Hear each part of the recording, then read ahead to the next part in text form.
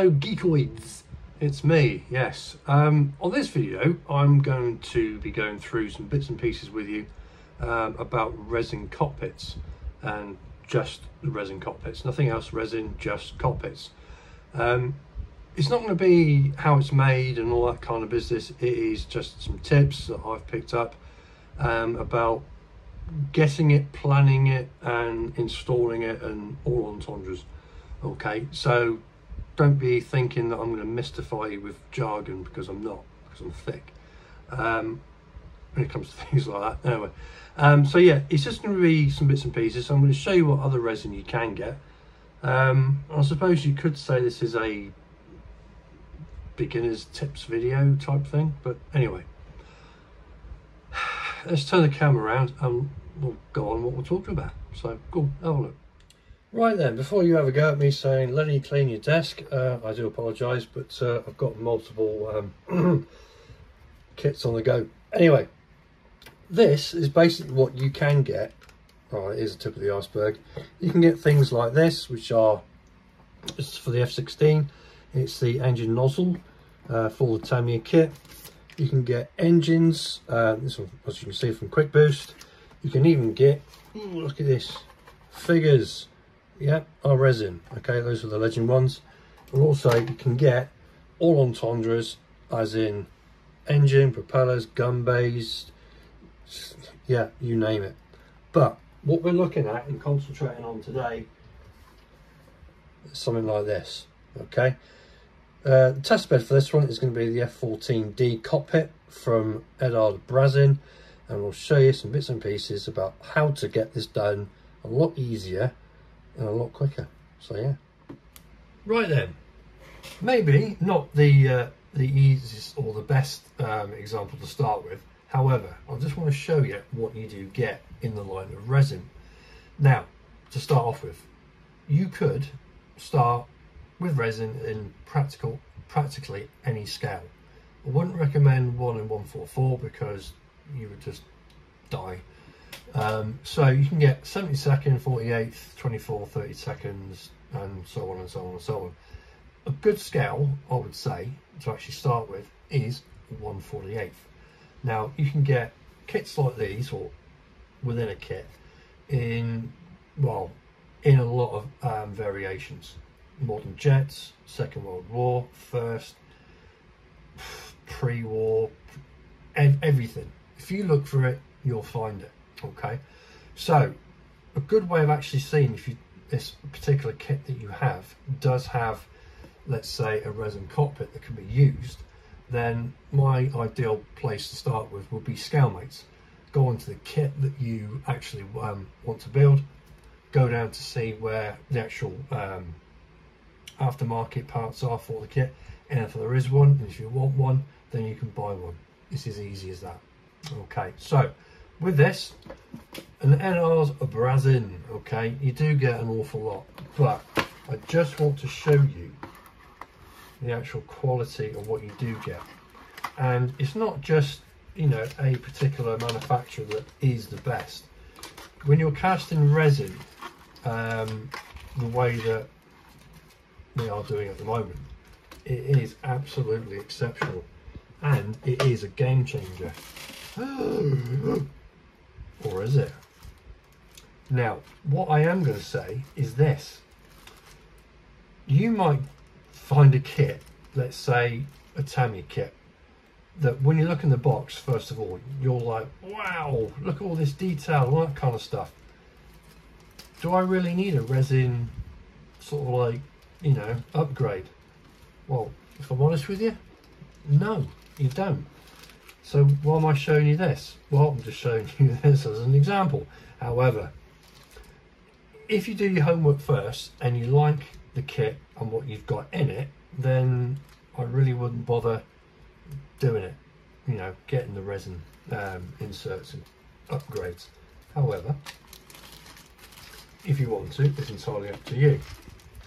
Now, like I said, I'm not going to batter you with technical jargon and what it's made and all that kind of business. But what I will say is, when you start off with resin, be extremely careful with it. Okay, now what I would normally do is open up a window, like I've just done now. Get yourself a, a very nicely sort of like well ventilated room.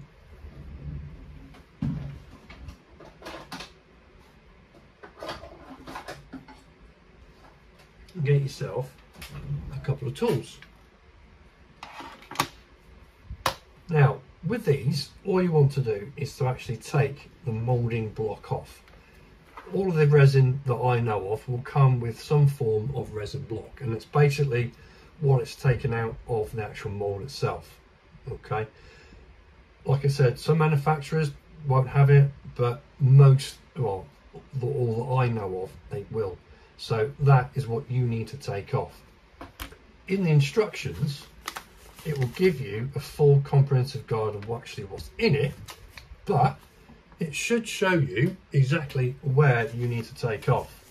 Now, it's not particularly good this one. I've had a look for the instructions and what normally happens is they have like sort of an outline of each part with one part shaded darker than the other and that is to, to denote basically where to take the actual lugs off. Now with this one, yeah, you can see where it is. It's just basic common sense. But if you are new and this is your first time, just be aware, make sure you look first and take off what is actually needed and don't take off part of the actual kit. Now, to take the actual lugs off and any other parts that you so wish, you can use a, a big clumpy razor saw like this or go into the more delicate part of things and get a razor saw like this. Now, when you start to take off the actual lugs themselves, and disclosure, I am not part of the health and safety executive. I do not wear brogues, brown slacks, um, brown shirts with big thick glasses, although I do wear glasses. I'm not from the HSE, okay? What I will say now is, when you start cutting this, micro pores and fibres and all that kind of entendres will basically come off, go into the atmosphere, and if you're breathing it in, it can or could make your life a hell of a lot harder later on in life. Okay, if it gets on your lungs, it's going to stay there. It's never going to go away unless you have a lung transplant. So it is safety first. Make sure you get yeah make sure you're in a well ventilated room, um, wear a mask. Well, let's face it, you can get a mask anywhere nowadays. And once you've finished actually taking all the lugs off, okay, put everything to one side, get all your bits that you've cut into one box, all the lugs can go straight into the bin. Then what I normally do is to go around with some IPA you just drizzle it all over the actual desk itself and with a um, piece of kitchen roll such as this just wipe it around and keeping the actual airborne particles to an absolute minimum. Once you've done it clean it all up all on there all nice and tidy chuck it in the bin. However you will have even more that's even actually on the actual um, mat itself so what I will do, do another round of that, a clean cloth and go over it again and get everything off. That is probably the best guarantee that I can give you to actually getting everything off as safely as you possibly can. So okay then, now I said that basically this is quite a, a modern up-to-date sort of like product. Here's one that slightly isn't, okay? This has been around a few years. It is from Ares or Ares or whatever how you want to pronounce it. And this is obviously for a set for the actual um, engine nozzles for the Tamiya 30 second F16. Now, what I did mention before is you get a set of instructions, and this is what I'm all about. You get the likes of these where you've got the parts themselves, the actual um, parts that you need to take off, are in a darker color or sometimes a lighter color depending on the manufacturer and that is what you need to take off. This is basically been around for a while. As you can see it's a hell of a lot larger but you can see there that the actual um, build logs or the uh, the actual um, the lugs are quite large and quite prominent.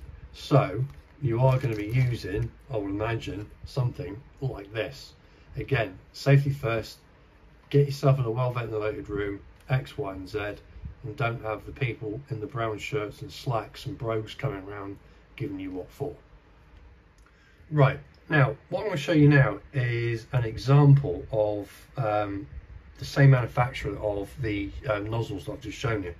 And this is the Ares or Ares um, cockpit set for the AV8B, the trumpeter 32nd scale.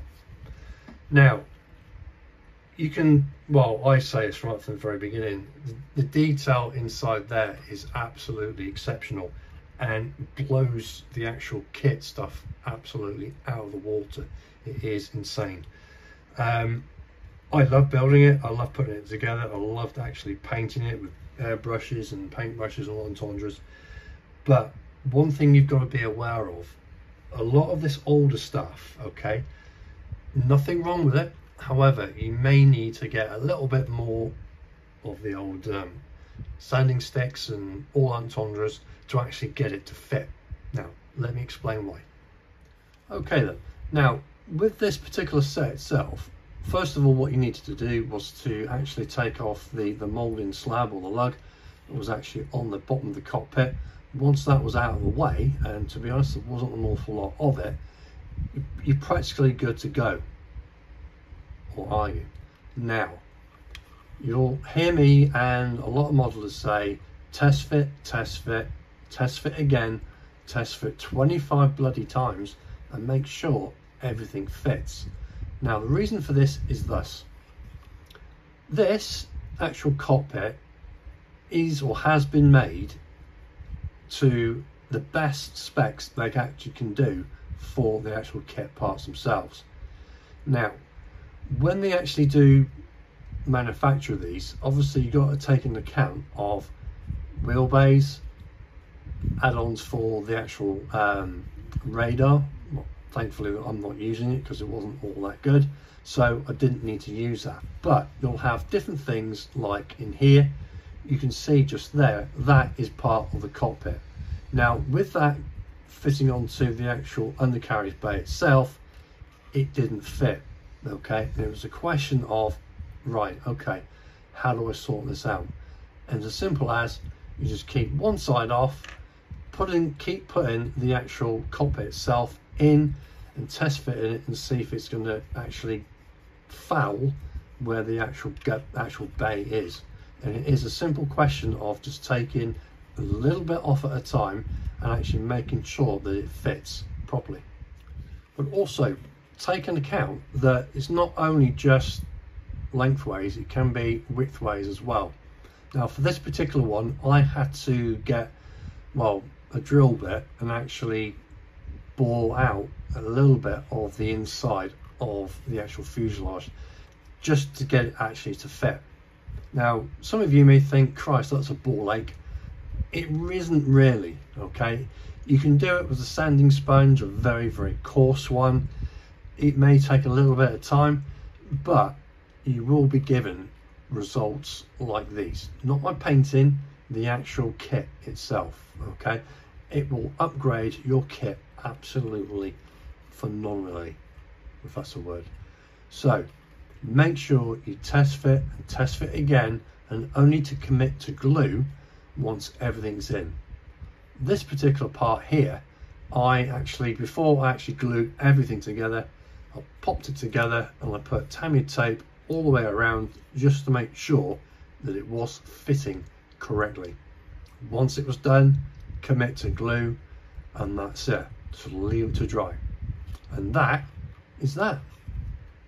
So that's it really. Um, not a, a meat and potatoes nuts and bolts video it's just a basic one to show you um, that are going to go into I don't know using resin whether it's a cockpit wheel bay wheels and all that kind of entendres that is basically what we do make sure one you're in a well ventilated area you take the precautions, you wear the protection, and don't have the man in brogues knocking on your door and waving his pen and notepad at you. Okay, it's not worth it.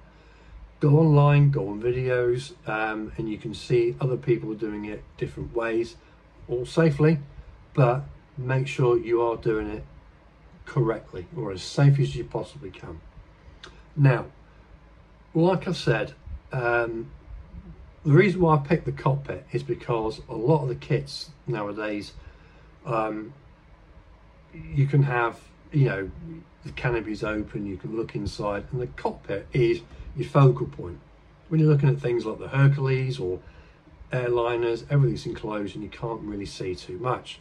However, when you're on bigger scales, maybe you know, on 48th and upwards, you are going to see a lot of detail in that cockpit. One, take your time. Two, take your time. Think about what you're doing. Think about what order you're going to do it in. Watch some videos and go from there. Okay, but just take your time. But the most thing you need to do, the most important thing, is to enjoy it. Okay, I enjoyed doing this. Okay, awesome. Not the painting, it's in the detail, okay? So, bearing in mind, go for it, okay? Don't start big, start small.